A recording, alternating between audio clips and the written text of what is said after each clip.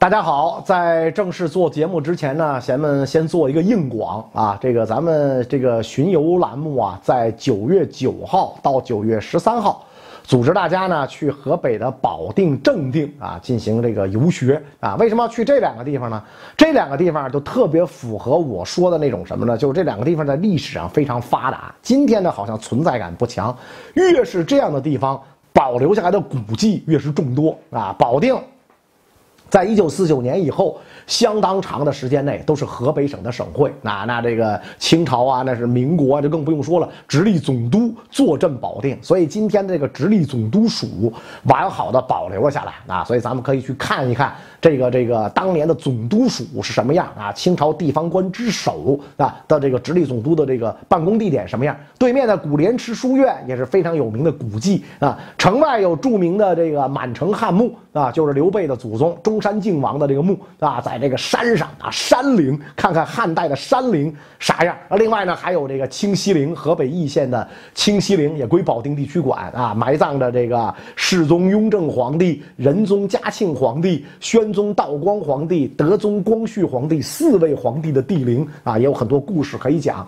还有呢，就是这个正定了啊，正定比起保定来，那就更加赫赫有名。在历史上，唐宋时期的北京不算什么，正定是北方第一。雄镇，古称镇州。再往前倒，赵子龙的家乡啊，是吧？所以古迹太多了。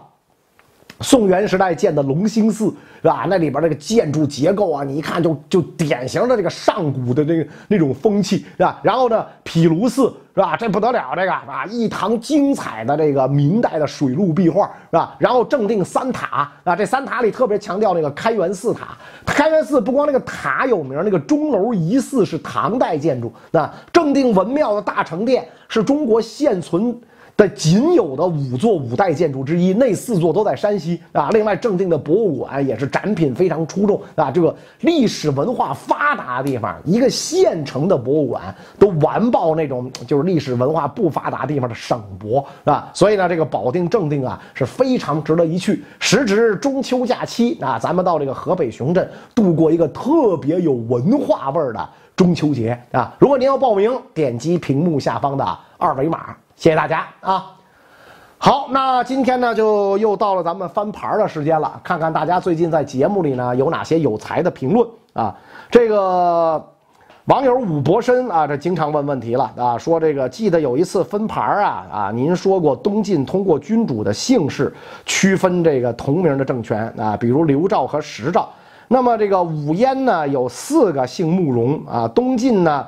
和后世是如何称呼他们的啊？用前后南北西东来区分呢？是从什么时候开始的现象啊？求翻牌解惑，就是当时的现象啊。但是如果并存，那就是啊？这个比如说这个西边的叫慕容燕，就叫西燕啊。如果这个东边的，那叫就就东燕，就类似这啊。如果是相继的，那就是前燕和后燕，就跟那个什么一样，就是这个呃元末。是吧？这个红巾军起义是吧？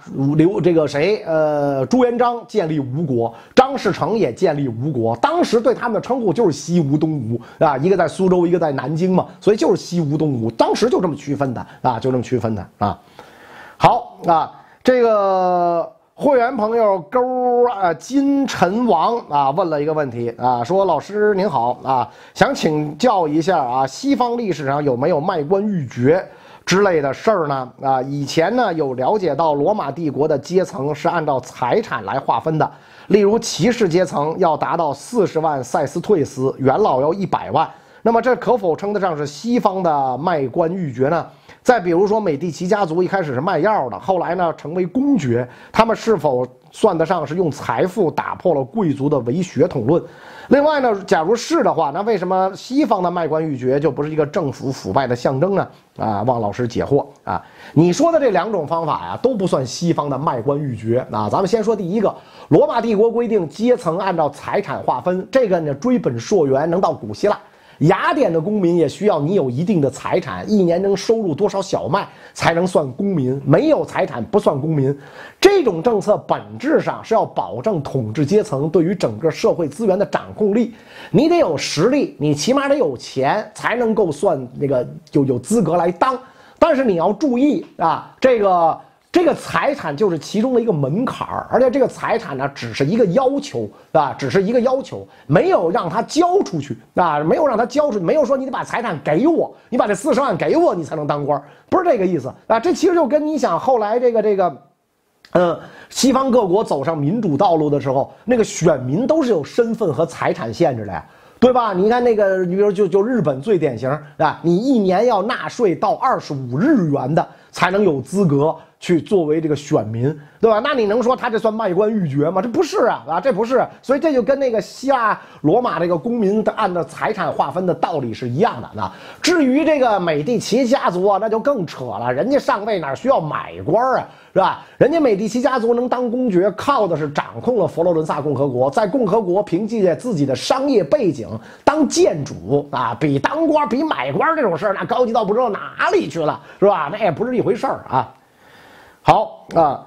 这个网友 K A T A N A L E O 啊问了一个问题啊，曾经听一个老师说过啊，说在重农抑商的大环境之下，捐纳客观上提高了商人的地位，对于商业发展有积极作用。比如晚清洋务运动的这些红顶商人们，不知道这个。呃，袁老师怎么看？啊，我我同意这个观点啊，我非常同意啊。所以晚清，你看，甭管是盛宣怀还是这个胡雪岩啊，他们客观上都是这个推动了洋务运动的发展，推动了这个呃经济的进步。特别是盛宣怀啊，他等于就是李鸿章在经济上最大的这个什么，这个这个这个就是就白手套嘛呀，相当于这个这个幕僚嘛啊，最后到。清末，他出任什么邮传部尚书啊，什么这个督办铁路大臣呐，啊，由商人直接去做官儿，那这显然是对于国家发展工商业是有利的。就跟袁世凯的时候让张謇去当实业总长，状元实业家去当这个实业总长，那显然这个就是突破这个重农抑商的这个底线啊。所以这个观点我是完全同意的啊。好啊，这个。呃，网友紫屯紫电问了一个问题啊，问了袁老师一个问题：韩国电影《南汉山城》描写面对清军铁骑，仁宗国王为了保全人，应该是仁祖啊，为了保全国家，不得不选择投降。这个电影的主题是投降不丢人，敢于投降也是一种勇气。请问袁老师，您认同这种观点吗？如果认同的话，如何评价例如汪兆铭、秦桧这样的投降派？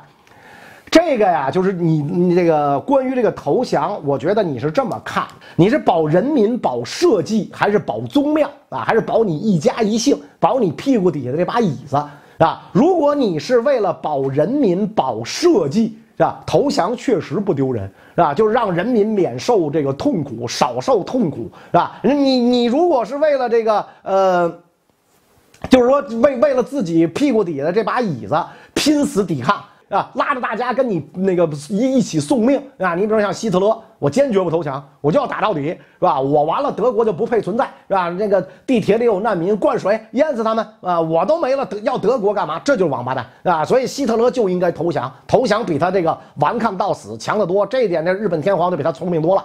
对吧？就比就就就比就就比就比在这件事上就比他值得称赞，是吧？所以你说这个像这个仁祖国王他投降，是吧？清朝没有要灭掉他的意思，只不过要求你改换一个宗主，是吧？也没有威胁到你的统治。国王你照样当，你就换一个宗主吧，你把这世大世大之心由世明变成世清，所以他投降没有什么了不起的嘛，确实没有什么了不起的。你包括那个我们大家都知道，今天杭州有钱王祠。对吧？有钱王祠，三代武王香火不绝，供奉他们，而且人家钱家子孙后代到现在这么昌盛，是吧？什么净出名人，什么钱钱学森呐、钱伟长啊、钱穆啊、钱文忠啊，都是人家这个家族出来的，就是这单祖宗这个呃，这个这个有有有福，恩泽子孙，是吧？最后人吴血开城，吴越国七十一府。归七十一县归顺北，归顺了北宋啊，前王纳土，避免江南地区遭到兵险，所以这个临安百姓到现在还在纪念他啊。如果当时我为了保护我这把椅子，我拼死抵抗啊，我拼死抵抗，那那恐怕最后也抵抗不住，最后你也得完蛋，然后临安百姓还会咒骂你啊。为了你一家一姓，我们都得。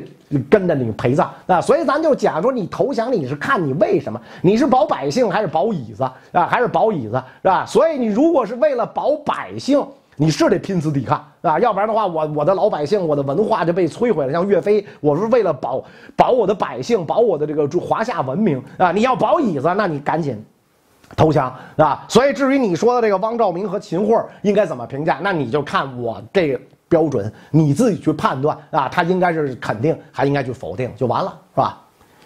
好啊，这个。网友朋友啊，这个 P O U L H E N 二 Y 啊，问了一个问题啊，说袁老师您好啊，有几个关于这个明清官员的问题，请教。前几日去徽州参观徽州古城，看到许国石坊。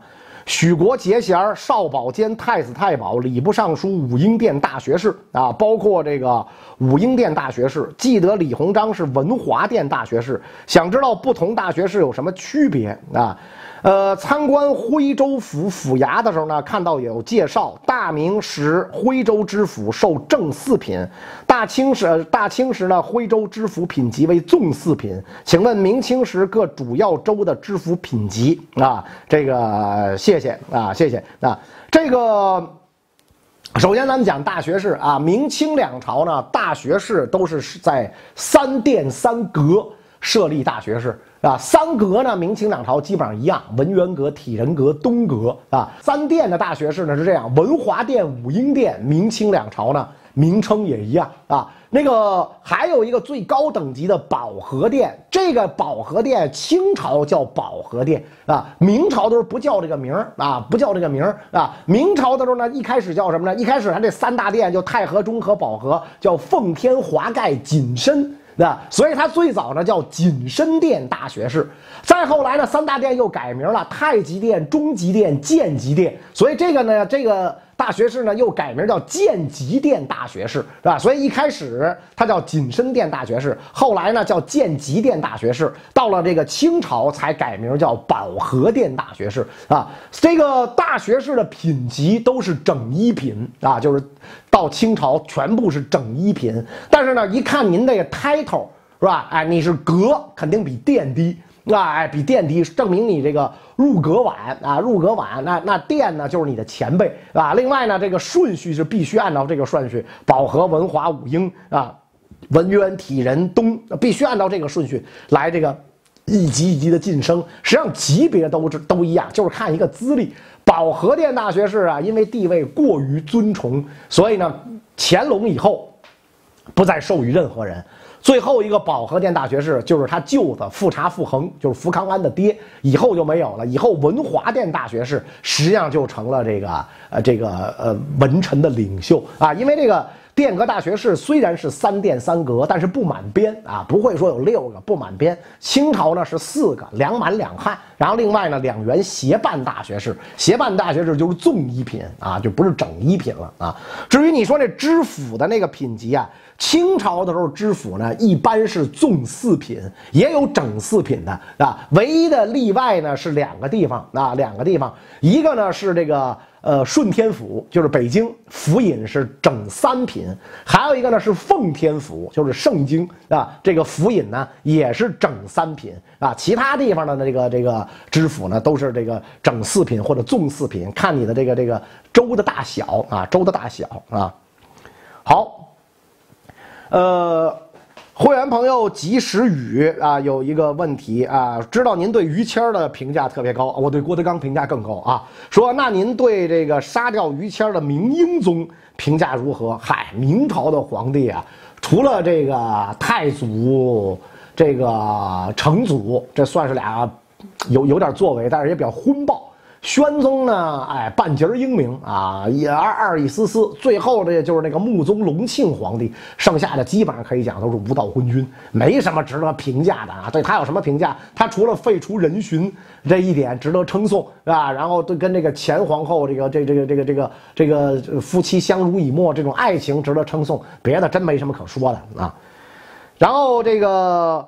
会员朋友啊，然后网友大亲亲问了一个问题啊，说袁 Sir 为何维多利亚女王的丈夫阿尔伯特亲王死后，很多人对女王中年丧夫给予很大的同情，包括拿破仑三世的妻子也是如此。同时代大清慈禧太后却没有多少人同情这个青年丧夫、中年丧子的女人，反而去极尽妖魔化。为何没人撇去政治原因给予其同情和怜悯呢？求解答，是吧？那这这个同情不同情你是看你干的这事儿啊。维多利亚女王干过什么祸国殃民的事儿？签过不平条约吗？出卖过祖宗疆土吗？啊，这个任意干涉朝政吗？干涉帝王废立吗？啊，镇压过这个这个这个这个这个变法维新吗？是吧？这个欧仁妮皇后也没干过这事儿啊。这事儿可老佛爷全干过，是吧？所以为什么要同情他呢？是吧？为什么要同情？那你还不如同情李总管呢？身上最重要的一个器官没有了，那不更值得同情吗？是吧？魏公公，那不更值得同情是吧？所以这个这个这没太有意思了，这问题问的啊。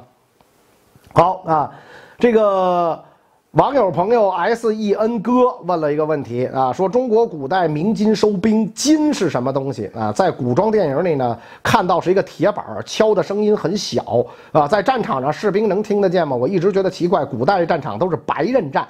两军交战的时候，能把兵收回来吗？啊，古代战争，不论中国外国，都要用到号角和战鼓。啊，不知道这个收兵，国外用什么方式？其实这个金和鼓啊，在这个战场上都是辅助的工具，最主要的是看旗子。哎，看旌旗，鸣金收兵，一敲那个当当当当当当当，有的时候是那么一个像个筝似的那么一个东西，有的时候是敲锣。他一敲锣，这个大帅的帅旗就会立起来。怎么挥？那那意思就是收兵啊。帅旗一挥，然后比如说底下师长的旗就挥了，然后旅长的旗，然后最后一直到班长的旗。士兵是看着自己队长的旗，不是听那声那声绝对听不到，是吧？没有扩音器。国外也一样，也主要是靠旗，看那个这旗子啊，这个来来来决定是进攻。攻还是后退啊？至于这个金鼓这东西，它都是这个这个这个这个辅助性的工具。你看到拿破仑战争那会儿，什么美国都建成那打那鼓，它就是为了整齐布点的啊，因为排队枪毙嘛，大家必须布点得一致，所以敲着那个战鼓，包括军号，在那个时候也产生了啊。好啊，那最近大家的评论呢，咱们今天就回答到这儿，感谢大家收看，也欢迎您加入我的会员频道，谢谢大家。